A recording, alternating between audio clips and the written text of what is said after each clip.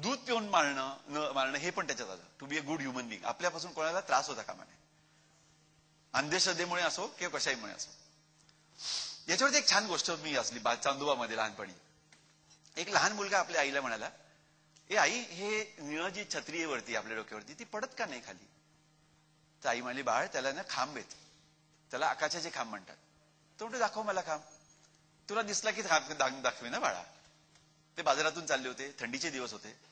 एक माणूस आपला कोट काढून तो म्हातारा माणूस होता. थरथरत होता बिचारा थंडीने. तो कोट पुरत नव्हता त्याला. तो कोट काढून त्याने एका भिकाऱ्याच्या अंगावर टाकला कारण त्या भिकाऱ्याच्या अंगावर काहीच नव्हतं. आई म्हणली बघ बाळ एक आकाशाचा खांब चाललाय. मग हे बोलताना मला नेहमी कंठ दाटून येतो. अंगावरती शहार येतात. ही अजूनही गोष्ट किती वर्ष झाली असेल या गोष्टीला. खांब बनायचा प्रयत्न करा. एक्सपेक्टेशन नावाची एक दुधारी मी तर म्हणतो तीनधारी तलवार आहे. Expectations about yourself expectation म्हणजे लोक आपल्याकडनं करणारे एक्सपेक्टेशन आणि आपली लोकांकडची एक्सपेक्टेशन या गोष्टीवरती जर तुम्ही नीट अभ्यास केला त्याच्यावरती नीट कॅप घातली तर I think life will be lot more simple कारण मला वाटतं नव्वद टक्के प्रॉब्लेम जगामध्ये एक्सपेक्टेशनच्या नावाखाली येतात. अंडरस्टँड युअर सेल्फ की ओके माझं माझ्याकडनं काय एक्सपेक्टेशन असायला हवं? आणि ते मी सामोरा जाऊ शकतो की नाही? हा- हा एक्सपेक्टेशनमध्ये प्रॉब्लेम येऊ शकतात. यू बेटर नो दिस असं नाही की बाबा एक्सपेक्टेशन वाढवू नये स्वतःबद्दल. डेफिनेटली वाढवावे. पण त्या एक्सपेक्टेशनला एक एक प्रकारची either you should be practical किंवा प्रॅक्टिकल नसेल तर मग ती त्याची जिद्द ठेवायची की आय कॉन्कर दिस दोन्हीचा समतोल जर धळला तर एक्सपेक्टेशन देन बिकम्स युअर स्वतःचेच एक दुश्मन होऊन बसतं. लेट गो नावाचा एक प्रकार आहे. फार कमी लोक करतात. सासू सोन्याची भांडणं जनरली काय होतात? ते लेट गो होत नाही म्हणून. कालपर्यंत मुलगा माझा होता आज कोणाचा ते दुसऱ्याचा झाला.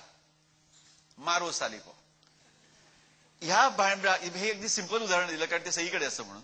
पण आपण लेटगो कधीच करत नाही. एखादी गोष्ट आपली आहे ती आपली आता नाही याचं भयंकर दुःख होतं लोकांना. याच्यावरती एक सुंदर गोष्ट वाचली होती मी. एका मॉनेस्ट्रीमध्ये मॉनेस्ट्रीमध्ये जनरली लोकांना अं, म्हणजे स्टुडंट्सना बायकांबद्दल बायकांकडे बघायचं नाही किंवा मोहात पडायचं नाही हा एक भाग असतो. त्याच्यात एक हुशार स्टुडंट होता तो ज्या गुरुचा एकदम पट्ट शिष्य होता आणि दुसरा एक विलन होता. या दोघांना एक दिवस काहीतरी कामासाठी गावात पाठवलं. काम झालं. येता येता गुरुचे दोन्ही दोन्ही शिष्य चालले होते. आणि एक बाई अतिशय दुःखात विळवत रस्त्याच्या कडेला पडलेली होती. त्याने जाऊन विचारलं काय झालं? तर म्हणे माझा पाय मोडलाय. मी झाडावर चढले काहीतरी काढण्यासाठी. अगदी गरीब बाई. मला डॉक्टरांकडे जात नाही जवळच्या वैद्याकडे जाता येत नाही. मी काय करू? या चांगल्या शिष्याने त्याला पाठीवरती घेतलं वैद्याकडे ड्रॉप केलं आणि दोघं जण मॉनेस्ट्रीमध्ये परत आले. हा जो विलन होता त्याला त्याला ऑपॉर्च्युनिटीज मिळाली की याला याच्याबद्दल आता काही सांगता येईल आपल्याला. त्यांनी ते जाऊन गुरुला सांगितलं की ह्याला आहे त्यांनी काय केलं? त्या बाईला त्यांनी हात लावला त्यांनी तिला पाठीवर घेतलं आणि तिला घेऊन गेला त्या वैद्याकडे. गुरुने काय उत्तर द्यावं? तर मला माहिती आहे ना त्यांनी त्या बाईला उचललं तर म्हणे हो जे करायचं नाही आपल्या याच्यामध्ये आपल्या परंपरेप्रमाणे अगदी बरोबर. त्यांनी ते तिथे ड्रॉप केलं केलं? ड्रॉप केलं ना? तर म्हणतो हो. मग मग तू काय घेऊन आलास वरती बरोबर मनाने? ती तुला तू पण तिला तिथे सोडायला हवं होतंस. काही काही गोष्टी जिंदगीभर बरोबर राहतात. त्याच्यापैकी ही एक गोष्ट आहे. लेट गो जे आपलं नाही सोडून द्या पुढे चला. अनलेस यू डू दॅट नाही तर ते परत ते गटार आणि ती सगळी व्याज आपल्या बरोबर येत राहते. And you are never ready to fly या छोट्या छोट्या गोष्टी मी करून बघितल्या. अजूनही पूर्णत्वापर्यंत गेलोय की नाही माहिती नाही. पण प्रयत्न चालू आहेत. उमेद पे दुनिया कायम आहे. आणि तुम्हाला ह्या सगळ्या गोष्टी अगदी सुंदर करता याव्या याच्या दसऱ्यापेक्षा पुढे शुभेच्छा. Bye bye and good luck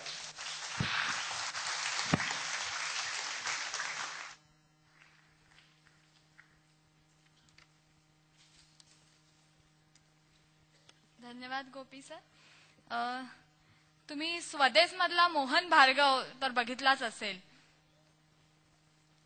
हे सांगायची गोष्ट अशी कारण चिपळूण मधील एका छोट्या गावातील एक तरुण. पॉवर प्लांटमध्ये पिऊन म्हणून कामाला असलेल्या तरुणानं स्वतःच्या चौकस बुद्धीचा उपयोग करून त्याने स्वदेश मधला मोहन भार्गव प्रत्यक्षात साकारलाय.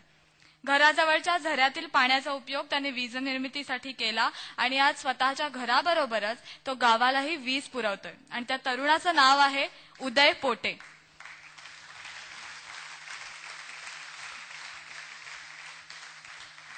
स्वप्न जिद्दीचे स्वप्न अभिमानाचे या पुरस्काराअंतर्गत अंतर्गत उदय पोटे यांना हा पुरस्कार मिळत आहे. काही कारणास्तव ते इथे उपस्थित राहू शकले नाहीत. त्यांची ट्रॉफी आम्ही त्यांना लवकरात लवकर पोचू आणि त्यांनी त्यासाठी सॉरी म्हटलेलं आहे पण या तरुणासाठी एकदा जोरदार टाळ्या झाल्या पाहिजे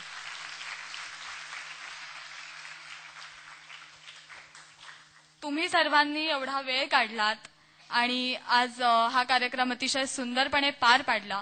त्याबद्दल तुमच्या सर्वांचे आभार आणि या कार्यक्रमाला काही खास व्यक्तींनी काही खास संस्थांनी आम्हाला मदतही केली. त्यांचेही मी आभार मानते.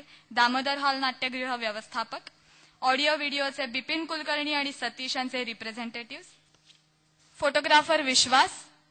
आपले प्रायोजक Pitambari.